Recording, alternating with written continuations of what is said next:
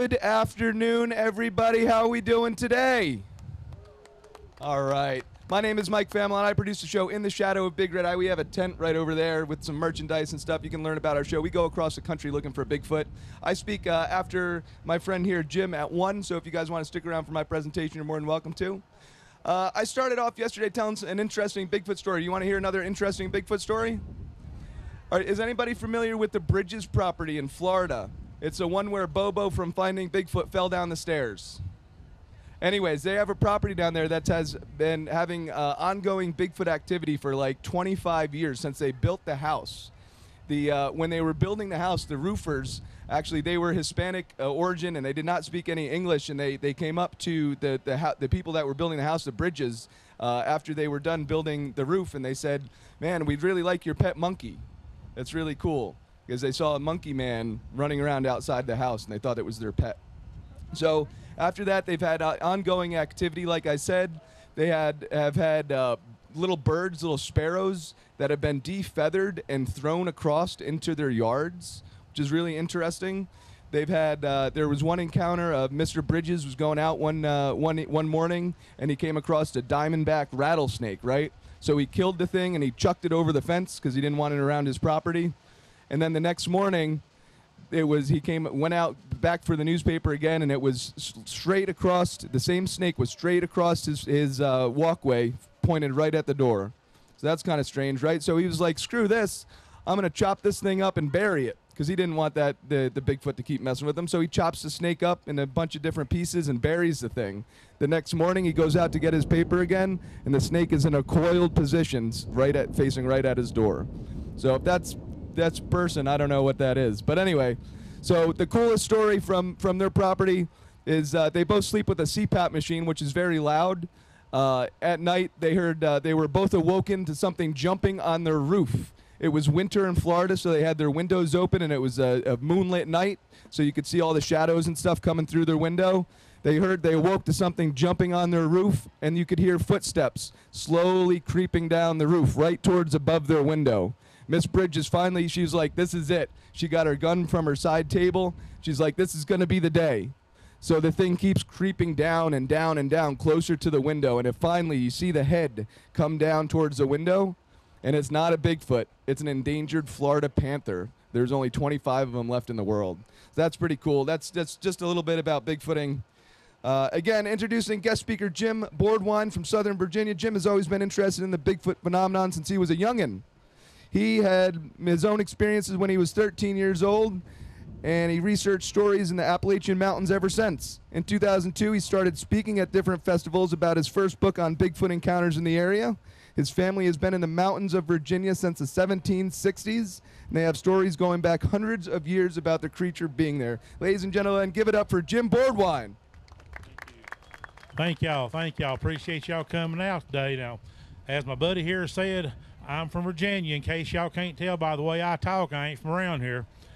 But uh, this is really the way I talk. I've had people say, "Is that is that really you?" Uh, Yeah, this is me. I ain't putting on no airs for anybody or nothing. But um, before we get started, we got any veterans in the crowd? You are. Thank you. Thank y'all very much for for serving. We appreciate you. Is, a, any law enforcement or ex law enforcement out there? Okay, good. I guess I can hang around for a few minutes then. Now, like like my buddy, buddy there said, I, Bigfoot phenomenon was something I was always interested in growing up. You know, you hear the stories. They back in the early '70s, they was making some movies and stuff. And of course, I read about Roger Patterson and the Bigfoot movie he made in California in the late '60s. I was always fascinated by it. Well, I finally had my experience, and when I was 13 years old in 1976, like I say, the family where, where I live at, my family's been on that property since the 1760s. Uh, we we come over here. Branches of my family have been over here since the 1600s, but we've been in that area since the 1760s, and um, we own from the road to the top of the mountain behind us. Now, one day out there, it was in the fall of the year. A friend of mine had come over from school and spent the weekend with me, and we was out in the backyard playing. I, we might have been throwing rocks at each other or something. I don't know. But we looked up on the in the pasture up in the toward the mountain there, and my I had a horse at the time. She was acting real skittish. Well, I'd never seen her act like that before. Now I knew how she acted when a bear come through, but this this was completely different. So I said, I said, let's walk up there and check her, and make sure she's okay. So we walked up there. There's an old house up there my great granddaddy built. She was standing next to it, and she'd look up toward the mountain and she'd whirl around and take off and just really carrying on. So we got up there and I got to petting her, checking her, make sure she hadn't got snake bit or something. I didn't know what was going on, and got her calmed down. I said, let's walk up here and look around, see if we can see something. Well, between the cabin and the woodshed, there is a metal pipe coming out of the ground that carried water down out of the mountain to the house. It stopped outside. I guess they run out of pipe before they got to the house with it. But something had ripped that pipe up out of the ground, and there was a partial track there. Well, I, even at 13, I was a pretty good tracker, but I couldn't recognize the track. And so me and my buddy tried to push the pipe back down to where it went. We, we couldn't do it. You know, I was a pretty good sized child. We, we couldn't push the pipe all the way down to where it went. Well, I got to casting about for sign, and I could see where whatever this was, it went around the woodshed back up into the mountain. So we uh, we walked up. I said, "Let's go up here and see if we can see what this is." I know it was a barrier wall. Like I say, that it just didn't nothing added up. So we uh, went around the building and crawled through the barbed wire fence, and I started up into the woods. And the first thing I noticed, I had a, a big male German Shepherd. He'd been raised with me. He was seven years old at the time. He protected me against everything. Well, he wouldn't come through the fence. He walked back and forth on the other side of the fence whining. He wouldn't come through the fence. And I thought, well, man, I've never seen him act like that. And said, Prince, what's the matter with you? When I'm standing looking at my dog, all of a sudden I feel the hair on my back raise up. I know something's staring at me. And I turn around real slow and as far from here to Will's car there. There he is. He's standing under hemlock tree just looking at me. He didn't make no moves. He didn't make any sound, you know, didn't make no threat threatening moves or anything. And I don't remember smelling. You know, a lot of times people get a real rank smell off these critters. I don't remember smelling anything. I just remember seeing this thing, and I think my heart stopped. And uh, we looked at each other for a few seconds. I took off. I headed for home. I tell you what, brother Jesse, uh, uh, Jesse Marcel. What's that? Who's that guy back during World War II, the speed runner? Was it Jesse Marcel? Anyway, this guy, the world champion runner, couldn't have caught me going off mountain that day. I may have run through the barbed wire fence. I don't remember crawling through it. But I went running down to the house, and my granddaddy was sitting on the front porch of his house, and I was a squalling. He said, Boy, what's the matter with you? I said, I just seen something up on the mountain. Don't know what it is. I'm to get my deer rifle, go back up there. He said, Boy, you sit down, you ain't going nowhere. And I think about that years later. I think my granddad knew that thing was up there because he had been on the property since he was born. He was born in 1911. He had run them mountains all his life. I really think he knew about that thing. But, you know, back in those days, back home, if you saw something like that, nobody talked about it because they'd think you's crazy and stick you in a nut house. So nobody would talk about it. It's just getting where here the last few years when I started researching my book that I can get people to come out and tell me their stories. And I'm, I'm just amazed at how many encounters I have documented right there within just a few miles of where I live because people are finally opening up about it. Well, I've never seen him again, but I've heard him. I've heard him howling. I've heard him around my house. Um, in fact, this was a weird story, but the day that my book came off the press, it was delivered to me. That morning at 6 o'clock, something knocks 12 feet up on my house, two times, knocked real hard on the side of my house, 12 feet off the ground. And um, that, that was surprising, to say the least. And uh, of course, I looked out, he was gone by then. But I've got some friends that are shaman in their respective tribes. One's Cherokee, one's Apache, and one's a Blackfoot. And I've told them what was going on, and they they talked it over amongst themselves. And they say they think that this creature or its family, whatever, has been on that land since way back yonder, since we've been there. And it's kind of considered itself a protector of our family and our land there. And that's a real comforting thought, you know, because uh, believe me, when I was 13 years old, it scared me. I ain't going to lie about it looking back, I know it wasn't going to hurt me. I realized it just it was curious as I was, you know. But uh, and I'd love to see it again. I've heard it, like I say, I've heard it one morning. I was going out real early to take care of some family business. I'm not going to talk about in public, but it howled up on the ridge. Now I know I've run the woods all my life. I know every animal in them woods around there. This was something I never heard before. If y'all was here for the Bigfoot calling uh, contest yesterday, you, I heard one or two that made the hair on my back raise up because it sounds so much like it. Now, as far as that goes, I, like I I've not seen it again. But last winter, my son had come out there after work one night to see me after he got off work. And before he left, he went out to the woodshed to bring me some wood in for the fireplace. He come back in the house and he had a kind of funny look on his face. I said, "What's the matter, buddy?" He said, "I just seen something out in the backyard." I said, "What'd you see?" He said, "I don't know." He said, "But it was very tall and it was on two legs." And when the light off my flashlight hit it, it jumped about 20 feet and landed in the creek bed and took off up through the pasture in the mountains again to where I seen it at. I said, Well, I've told you it's still around. And then a few nights later, him and a friend from work come by again to see me after work. And uh, once again, before they left, they went out to the woodshed to get me some firewood, you know, because we had a pretty cold winter. And they came back in. The young man with my son said, Mr. Bordwine, I don't know what the world's on your property, but if the moon was shining bright that night, he saw something. He said it looked like it was eight or nine feet tall walking through my pasture in the moonlight. Now, folks, I know everybody where I live. That's like I said, what I seen when I was 13. I won't swear that it's Bigfoot, but I don't know anybody around home where I live is covered with dark hair from head to toe. And I don't know anybody that's eight or nine feet tall running around there neither. So they're there, and uh, it's um, that show that uh, uh, my buddy I mentioned, one of what they call it, Bobo Zone. They came to Saltville several years ago and did a, a, show, one of the episodes there, picked up some news stories of sightings there around home. And uh, I say, my book, uh, my first book I've wrote on Bigfoot sightings is chronicling experiences there in uh, Southwest Virginia where I live. Got a few stories out of Tennessee and Kentucky and North Carolina. So it's uh, people. We was talking at the uh, uh, round table yesterday, and people asked us, you know, do you think these things are confined to one area? I think they're all over the country. I think about every state in the union except Hawaii has had sightings. You know, up in Canada, and even uh, you know all around the world, every country has a, a, a legend of this of this type of creature running. You know, over in the Himalayas, you've got the Yeti. Uh, even in South Africa, uh, I've got a good friend works for Elon Musk, believe it or not. Even Musk saw the manuscript of my book.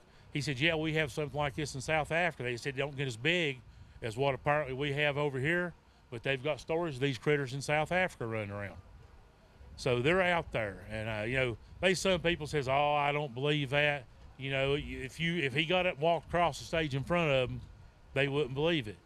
But there's too many credible sightings, credible people, reliable people have seen something. You know, yeah, I know there's a lot of times when if it's a UFO sighting, they get some crackhead or drunk. Oh hell yeah, I seen it. I was standing over here. You know, yeah. When I was collecting my stories, some of the stories I collected, I just kind of say, uh, yeah, that's really cool. Thanks for sharing. So any story I put in my books, I had to get to know the people real well or already know them for a long time.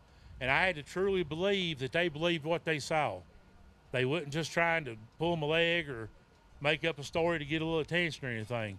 So there's, there's a lot of good, reliable information out there. And they're even starting to find some uh, physical evidence now, hair samples and stuff like that. They're running DNA sequencing on it's not matching up to any known animal we you know we've got in the database.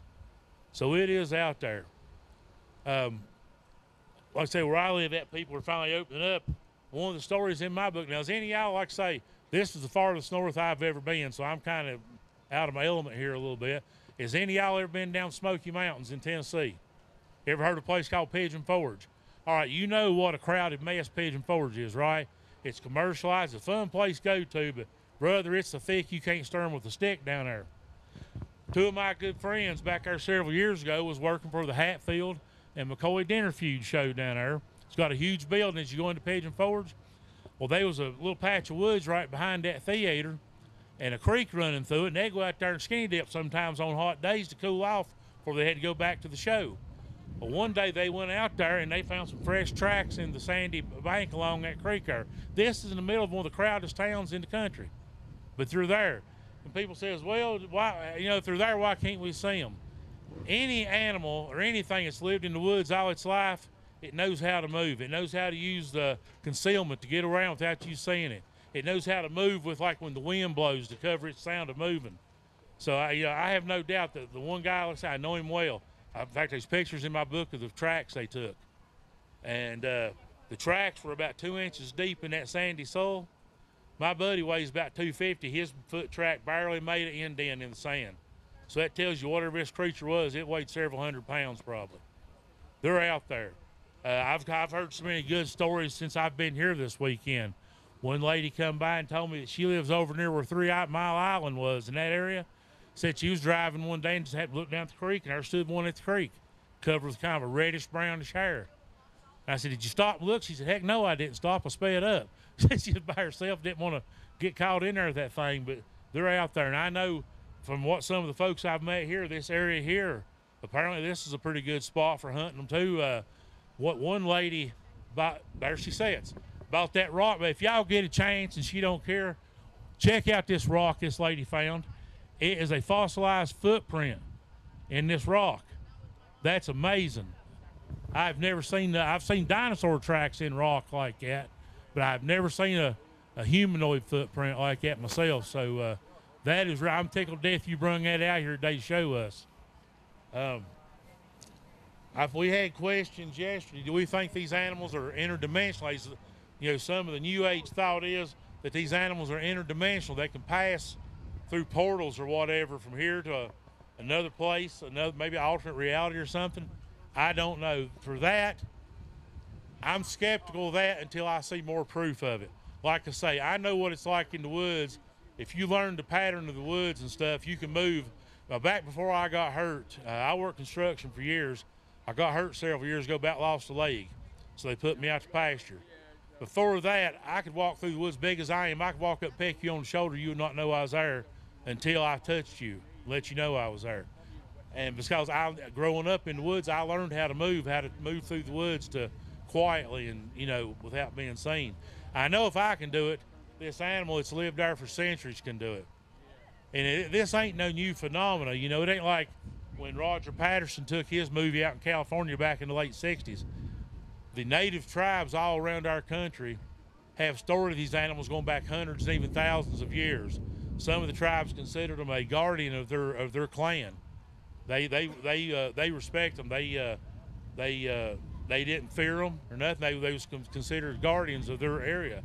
So they've been around for a long time, and even uh, a lot of your um, I've read a lot of books now. There's a there's a book called The Long Way Home. If y'all, y'all may have seen the movie, it's about these uh, these Polish prisoners in World War II got sent to out into Siberia one of the gulags. They made a movie about it several years ago.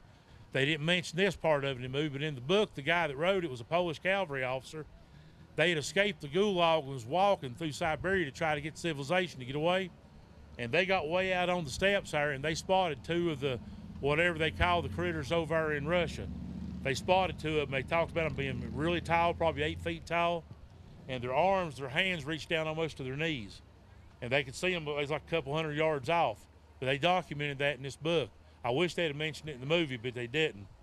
So there's there's so much out there. If you get back, uh, Daniel Boone talks about an encounter he had with some kind of hairy wild man. Davy Crockett mentions it in one of his stories even Teddy Roosevelt. Now Teddy Roosevelt didn't see it, but one of his hunting guys he hung out with it was I think it was Montana, was it uh, Daniel or Wyoming? I can't remember now. But, Dan, but Teddy Roosevelt's hunting guide had stories of running this thing out in the mountains out west. So, like I say, it ain't just a couple of drunks there running around claiming they seen something. There's a lot of credible evidence out there showing that these things are around. So I, I, I, encourage anybody have an open mind. At least give it a chance. Don't just say, "Oh no, I don't believe it. I ain't seen it walking down Main Street. I don't believe in it." Because folks, these people out there, they wouldn't pay a nickel to see an ain't eat a bale of hay. Very narrow-minded. They think we're the only life in the universe. Now I don't know what y'all think about that. I can't believe that in all this vast universe and all the planets out there, we're the only life. Now I'm not really willing to say I think ET's out there riding around trying to figure out a way to get home. But I do think there's other life out there in the universe, and I do believe Bigfoot's roaming around these woods out here all around us. That's what I think about it.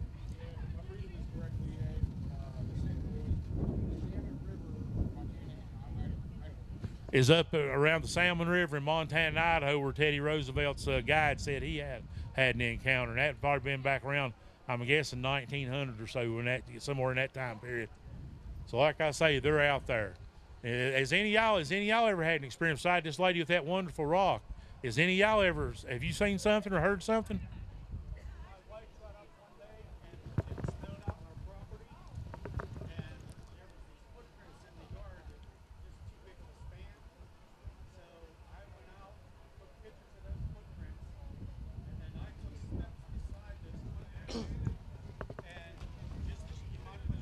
Yeah, help yourself.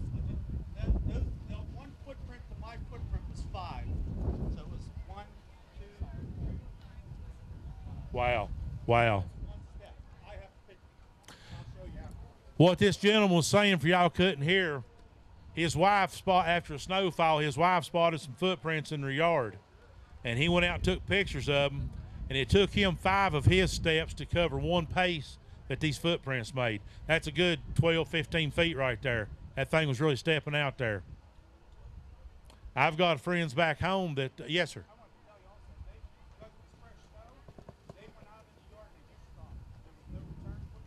Really? Wow. The man's telling me now too, where these footprints they just stopped at us pointing out in the yard. They didn't circle around. They didn't uh, step back. They just stopped dead in the yard. Now that might be evidence for the interdimensional travel some people say they can do. Maybe he decided he'd had enough of that snow and he stepped into a warmer climate or something. I don't know. But that is very interesting. Thank you for sharing that. Has anybody else here had any sightings or any experience, heard anything? Well, I encourage you get out there in the woods and listen. Uh, it's it's a it's fascinating hobby. I mean, I, I've like I say, I've always been here since I was just a little bitty feller, and I was blessed to see one. Like say, when I was 13 year old. Now, one another good story I've got from home. A good friend of mine, they live right next to a cow pasture, and her kids went out to uh, sleigh ride here a few years ago, and they found these tracks, like this gentleman described. They were really far apart, and when they got up on the mountain, they could see something moving up there, leaning out behind a tree, looking at them. There was two of them. There was one really tall one and one small one, a juvenile. And these kids, being kids, even though they was interesting subjects, they didn't make the connection in their head. They were looking at Bigfoot. And uh, when they got ready, they got through sleigh riding. They said, "Well, we're going home." I said, "I don't know where things went." And the boy said, "Well, they're standing right there behind that tree, looking at us." So they went home, and when they told their mom what they seen, they said, "What do you think it was, mom?" Mom said, y'all are love to read about Bigfoot. Y'all just seen it and y'all didn't realize what you was looking at. So they run back outside and got pictures of the prints. I've got pictures in my files of those footprints. And uh, the boy, the oldest son, uh, well, as long as he lived there on that at his home place, he had encounters with them after that. Every now and then he just feel like he need to get out. He'd walk up in the woods and he said he'd encounter maybe up there in the woods where he was at. So they they something definitely there. It's a fascinating subject. Uh, I've had people tell me that when they saw them, they felt that this thing could read their mind. They just, felt it so intense, it felt like they was actually looking into their mind and and uh, reading what they was feeling and stuff. And I now, like I say, I didn't hang around that long enough. I seen to find out if he could do that or not. But I've had several people tell me that in them stories. So, has anybody got any questions or anything? I know I'm rambling around here trying to tell you a few stories, but has anybody got a question you'd like to ask or uh, anything? Well, folks, I sure do appreciate you coming out here today and putting up with me and not throwing anything at me. Uh, my booth is right over here at this white tent. Anybody like to come by and talk? And love to see you pictures if you get a chance to come by. I appreciate it. And like I say, thank y'all very much for sitting there and listening to me today. Let's give it up for Jim. Thank you, Jim.